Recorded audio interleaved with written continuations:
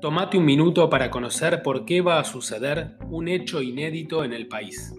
El martes 19 de abril comienza el juicio por una masacre de comunidades indígenas que ocurrió hace casi un siglo.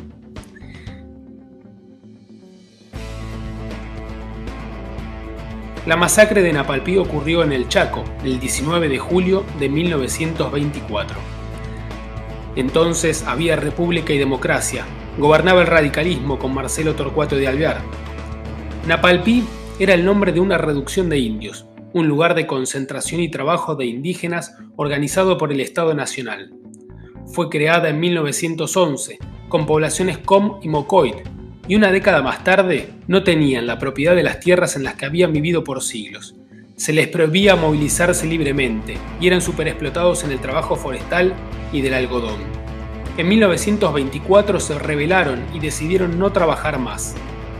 Estaban hartos de la violencia del Estado argentino y de los propietarios blancos y cristianos.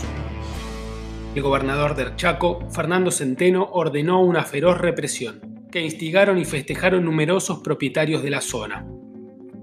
Un centenar de policías, gendarmes y particulares se acercaron a la concentración en un claro del monte y descargaron sus fusiles, mataron y ultrajaron a más de un centenar de personas, incluidos niños y ancianos. El gobierno del Chaco intentó ocultar los hechos.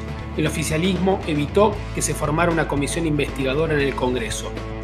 Un sumario policial habló de cuatro indios muertos. Un burdo proceso judicial sobreselló a los responsables. No se escuchó a ninguna víctima ni a testigos. Casi un siglo de aquellos hechos, por fin, tendrá lugar un juicio por la verdad.